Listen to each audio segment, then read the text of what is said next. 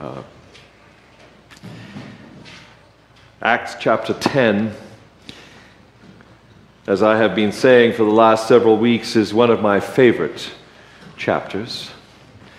If you, uh, if you don't have it in front of you, I'm going to ask our, our slide guru at the back to go to that section that talked about. Well, let me see if I can get a verse, exact verse for you, because that would be, that would be easier. In 34, verse 34, then Peter began to speak. I now realize how true it is that God does not show favoritism, but accepts from every nation the one who fears him and does what is right. So I have a story to tell you. Are you ready? My wife reminded me that she had collected this for me. You are going to laugh. But be careful. you may be laughing at yourself. I was walking across a bridge one day and I saw a man standing on the edge, about to jump off. So I ran over and said, Stop! Stop! Don't do it! It's the right thing to do, right? Stop somebody from jumping off a bridge. Why shouldn't I? He said. I said, Well, there's so much to live for. He said, Like what? I said, Well, are, are you religious or an atheist? He said, Religious. I said, uh, Me too. Uh, are you a Christian uh, or a Buddhist? Uh, he said, uh, A Christian? I said, Me too. Uh, are, are, you a, a, Catholic or a Protestant? He said, Protestant. I said, Me too. Are you a Methodist or a Baptist? he said, Baptist. Oh, wow, me too. Uh, are, are, you Baptist Church of God or are you Baptist Church of the Lord? He said, Baptist Church of God. Oh, me too. Are you original Baptist Church of God or are you Reformed Baptist Church of God? Reformed Baptist Church of God. Me too, me too. Are you Reformed Church of God Reformation 1879 or are you for Reformed Church of God 1915? He said, Reformed Church of God, Re, uh, Reformed 1915. Die, heretic scum! And I pushed him off the bridge.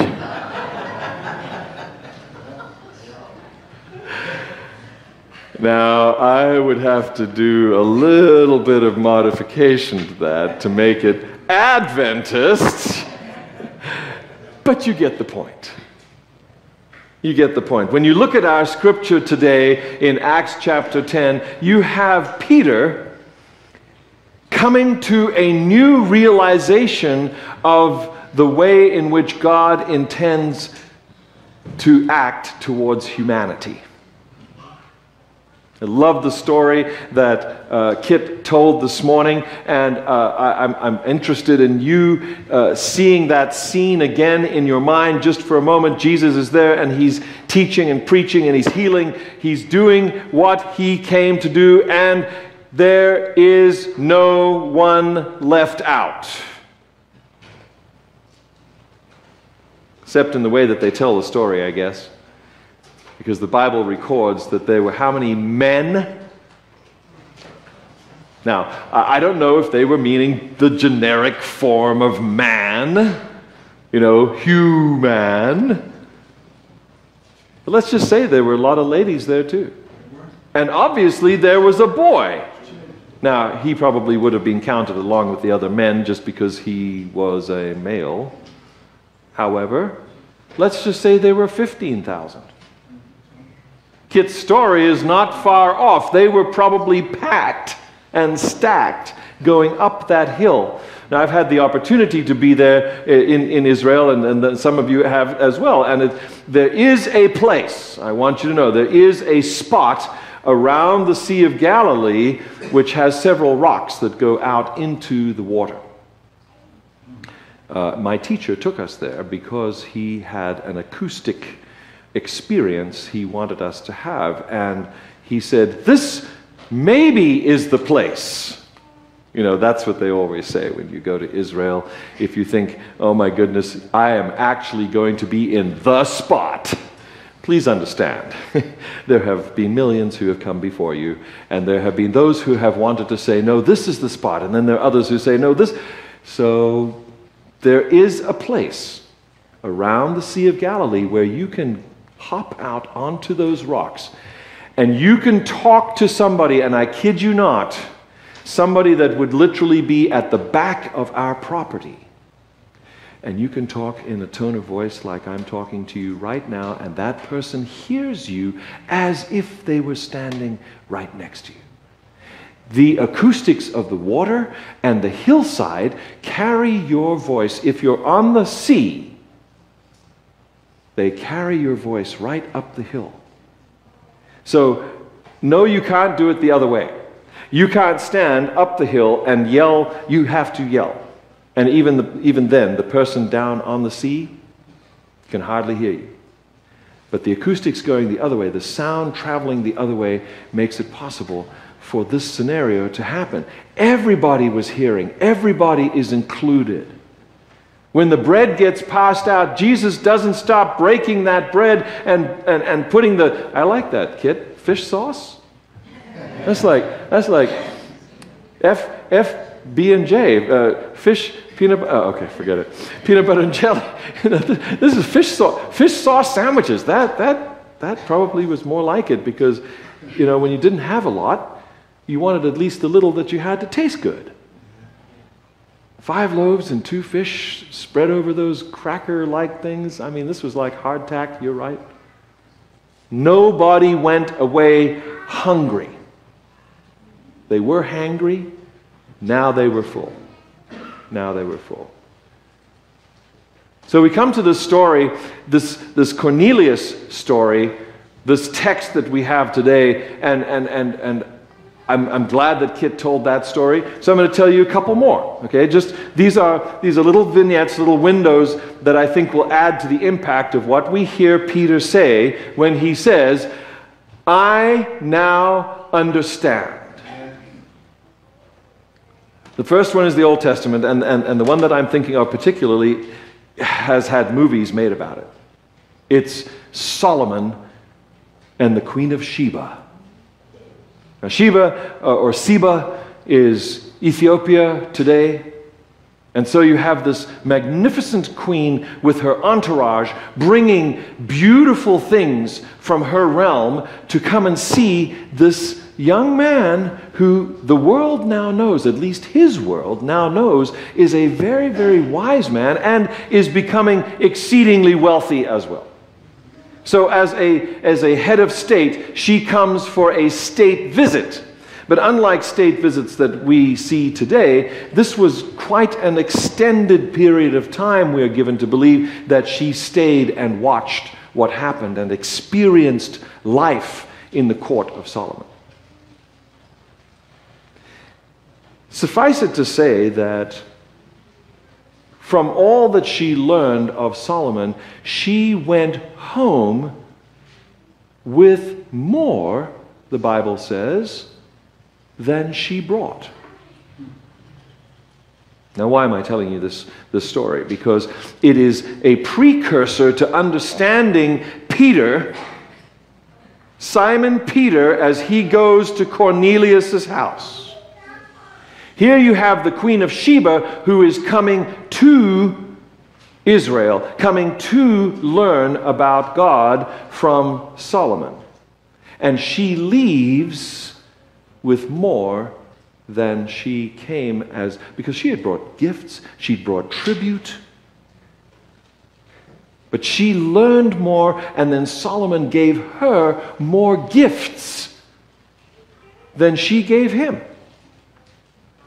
I bring this up because you see, Solomon to me is sort of the zenith. He's, he's the apex of the, the best of the kings of Israel.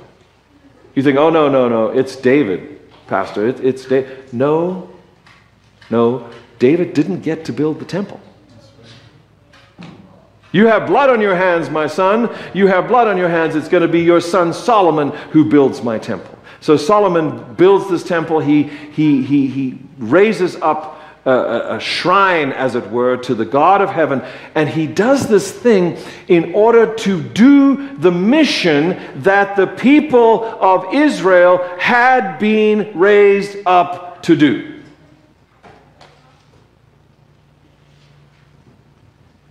The text says, God is no, I'm going to use the King James, God is no respecter of persons.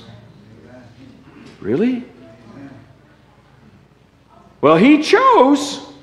He chose a particular people. Out of all the peoples on the earth, he chose Terah. Terah don't think it was Abraham first. No, my friends, it was his dad. God came to Terah first and said, I want to take you on a journey. Will you go with me? He went as far as the place where his second son, Haran, died. And he named the town, the encampment of that place, after his dead son, whose, whose son was Lot, who then, when God came to Abraham and passed the mantle, passed the cloak onto Abraham, Abraham took Lot with him, the son and heir of his dead brother Haran. God did make a choice. He did single out a family, and He did tell Abraham, Your family and your descendants will be a blessing and so, in an ultimate sense, you can say that Jesus, son of David, is that ultimate blessing. Peter had grown up knowing this and feeling this. But he had taken that heritage and he had kept it to himself.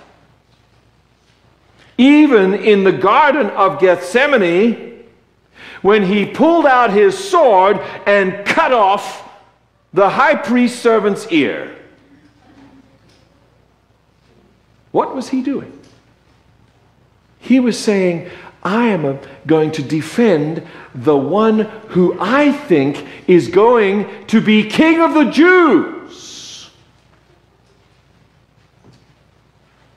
Have you ever wondered why the Romans put that placard above Jesus in three languages? Jesus of Nazareth, King of the Jews. What had just happened the weekend before? We tell the children's story. Children, you know this story. Clip, clop, clip, clop, go little donkey's hooves. Who was riding little donkey? Jesus. And what had all the people been cutting down palm branches for? Hail! Son of David, who comes in the name of the Lord, the King of the, the Jews. It is now my firm understanding that that placard was the Roman response saying, Bring it on. Anyone who claims to be the king of the Jews other than Caesar, this is what's going to happen to them. We're going to crucify them. It was the great day of disappointment for Peter because that was his horse. He was betting on Jesus to be the king of the Jews that beat the Romans. He was the inheritor of that whole idea of being special. of, of being chosen.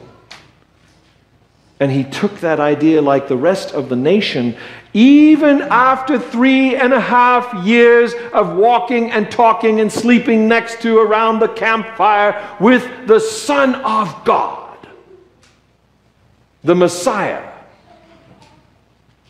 he still believed it was only for Israel. My brothers and sisters, it was only after Peter received specific instructions from God, aka a dream, with a sheet and some creepy crawlies in it, slithering things, alligators and snakes, reptiles and he was told to kill and eat. Another forbidden thing for the chosen people. That when that knock came on the door and the servants of Cornelius, a hated Roman centurion, came and said, We are here because our master has asked us to come and get you to come because an angel told us you have something to tell us. Peter walks into that house, and if you remember, because we dealt with this text a few weeks ago, he steps across the threshold, and when he does so, he becomes ritually unclean.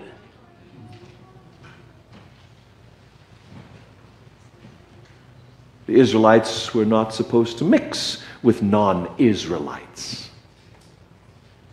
And so he begins to understand why he just got an analogy vision.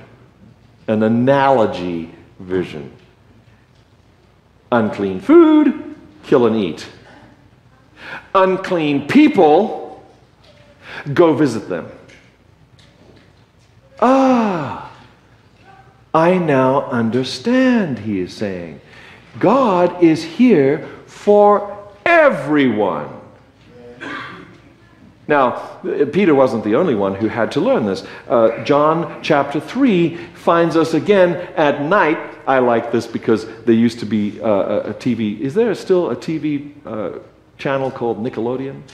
Okay, and, and, and, I don't know. Okay, she knows. Okay, thank you. It is for kids, and there is a, a, a part of it where Nickelodeon uh, does things at night, and it's called Nick at Night, right? Okay, so this is the original that's new. But the original Nick at night is Nicodemus. Nicodemus at night. Hoodie is up. He's incognito. Yeah, Jesus probably had his hoodie up too. You know, it's cold. He had his cloak around him, and they're meeting in a clandestine sort of manner, you know, kind of like spies. And he's talking. And finally, Jesus, you know, Jesus, Jesus is the one with his jaw on the floor. Oh my goodness, you are the teacher of Israel and you do not know these things? Here you have the quintessential Israelite. I mean, you could say that Peter was just a humble fisherman, plucked from Lake Galilee, where Jesus found him fishing with his father. Obviously, he had failed his final exams. Because the teacher would tell you one of two things when you went to uh, uh, Hebrew school. Either you uh, would be asked to follow the rabbi. Interesting now your mind is saying, oh, but Jesus said that to Peter, didn't he? Uh huh, he did. But the other rabbi that Peter had studied with when he was a boy had not said that to him. He had said the other thing. Uh, you, you, you better go home and work with your daddy. That's where Peter was found. But Peter is not Nicodemus. Nicodemus is on the Sanhedrin. Nicodemus is one of the greatest minds in, his, in, in Jesus' day. He, he knows the scriptures by heart. And Jesus says to him, and you are the teacher of Israel, and you do not know that Israel had a mission. That is why God chose them. He chose them to show what it was like for God to live with humanity. He chose them to be the ones to show the world the plan that God had to save humanity. What have you done with that, Nicodemus? What have you done? It was obvious that Nicodemus, just like Peter, didn't matter about the education. They were of the same mindset. This is just for us. You have to be born an Israelite. You, you have to have a, a, the right name. You have to have the right family. Can't help it. It's a small parenthesis, darling. I'll only say this much. Where were the tables with the money changers set up in the sanctuary area? Ten points to the, to the Bible student who can tell me. Which part of that whole complex did the Pharisees set up their money changing operation? The courtyard of? I heard it. The courtyard of the Gentiles. Okay, so I'm not Jewish, so I can say, What? If I wanted to go and worship uh, uh, in Jerusalem, the, they had tables and money changing set up in my pew, in my area. Are you feeling me this morning?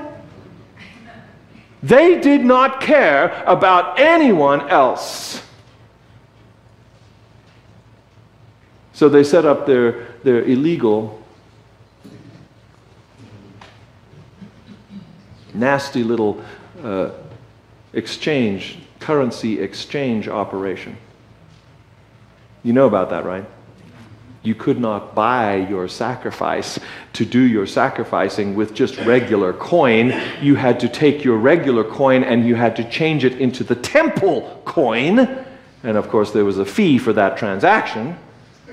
And then you had to take that temple coin and go and buy the sheep, which had just that morning been rejected by the inspection man for the other guy that came to do his sacrifice with a perfect lamb. But oh no, no, it was not perfect enough, and it was taken around back and blessed, and then brought back. It was the same lamb. And it was sold to the next guy as being perfect for him to buy with temple currency. Yeah, that's what was going on in the courtyard of the Gentiles. No, we don't care if you're a Gentile. We, we really don't care about you coming to church. We don't care about you coming to see our God. You see, because our God is only interested in us, because we are the chosen people. So you can be sure that when Jesus spoke those words that we as Christians uh, uh cling to, that God so loved the world that Nicodemus was, was about ready to, to, to, you know, to have a coronary. What? The, the, the whole world? Israel and everyone else? Yes, Nicodemus. Yes, the whole world.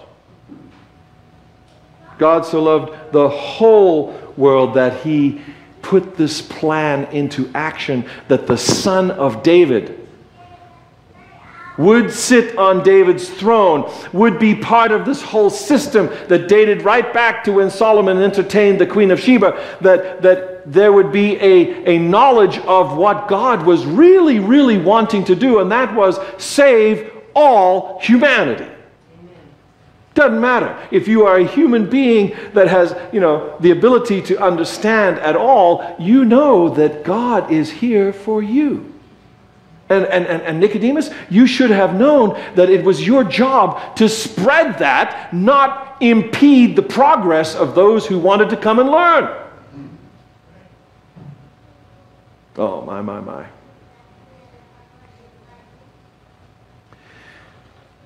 So, unlike the time with the Queen of Sheba, where she was the one who came to Jerusalem to learn. Times changed. When Jesus, when Jesus died, was buried, and was resurrected, and then blessed his disciples and went back to heaven, it was now time to go. Okay, the era of y'all come to Jerusalem was over. Now, fellow Adventists, I just want you to cogitate that for a moment.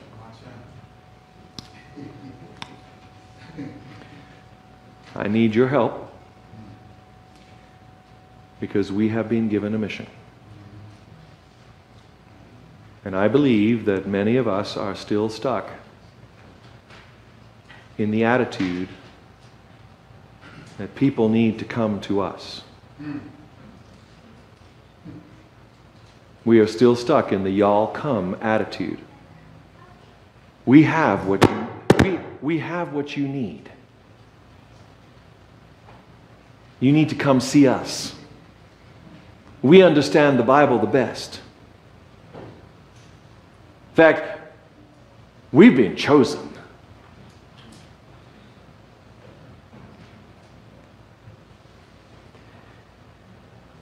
Peter doesn't ask Cornelius and his family to come to him. He listens to the guidance of the Holy Spirit through the messengers of, from Cornelius' house, and they bring him to Cornelius, and he steps over the tradition that has been in his way, his misunderstanding of the mission of the Israelite people. He steps over that and into Cornelius' house, where there is gathered not just Cornelius, but his extended family and friends. And, and as you read the story, you should, you should listen to the love that God shows Cornelius. God heard his prayers. Have you ever thought whether or not that person that you think has absolutely no chance of getting to heaven, do you think that God hears his prayers? I hope so because he heard Cornelius' prayers. And when Cornelius had been generous in the community and had given gifts to those who were otherwise poor, God took note of that. No, it didn't come under uh, Seventh day Adventist Community Services. So, no, we couldn't count it when the conference asked. But I know, I know, I know that there are many in the hearing of my voice right now who are doing exactly like Cornelius, and they are taking what God has blessed them with and they are dispersing it in the community. I want you to know God sees. He is no respecter of persons. He does not check your religious affiliation before giving you credit. Okay? Peter says, Now I understand. My friends, um, if, if we need to understand anything today, when we meet others on, on, on, the, uh, on, the, on the bridge of life, and, and they're not happy with their lives, and, and they want to end it all. And we're, and, and we're too, too interested in whether or not they are like us, or whether or not they believe like us, or whether or not they look like us, or whether or not they have the same name or heritage. If we're too interested in that, we're going to do like this story. In fact, God forgive me if I have ever been part of hurting anyone in this manner. Die, heretic, die. I mean, we laugh. But I mean, can you imagine the thoughts that have gone through your head? And I know the thoughts that have gone through my head. where I'm basically guilty of saying, I don't know if I want to spend eternity with that person. And this same Jesus that we have been talking about today would say to us, Nicodemus, I came for everybody. I came for everybody. Now, I'll end with this. I've been in this church a long time, all my life. And yes, I am an immigrant. I am an African American. And my son is an Indian American. Yes, from India. He got his passport in New Delhi after we adopted him. It was wonderful. We knew, we knew the third ranking officer in the embassy in New Delhi at that time. He was a church member of mine from previous times. I don't know if you have ever had this experience where you are ushered in to the inner sanctum past many people who will be spending days and you get to be put in the back room and in half an hour you accomplish what others have wished their entire life for because of who you know. I'm looking forward to the day, I'm looking forward to the day where we will all be interested and willing and ready to be ushered in by the angels into the presence of our Father in heaven. Who, when we pray to Him, we say, Let it be on earth as it is in heaven. When you pray that prayer, please mean it. I know I pray to God to give me the courage to mean it. If you need to pray that prayer, pray that prayer. God, give me the courage to mean it when I say, I really want what happens in my world here and now to be like it is in heaven. Not to wait until heaven comes here, but to say, I would like my world to be like it is in heaven, where there is a Father in heaven who is Father of us all, who wants us all to come home. What do you say? Amen. Amen. May that be the gospel that we bring, the good news that we bring to our fellow human beings in these United States